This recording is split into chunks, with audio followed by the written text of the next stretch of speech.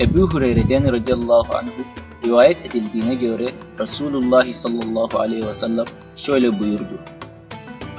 Aziz ve celil olan Allah, insanın oruç dışında her ameli kendisi içindir. Oruç ise benim içindir. Mükafatını da ben vereceğim buyurmuştur.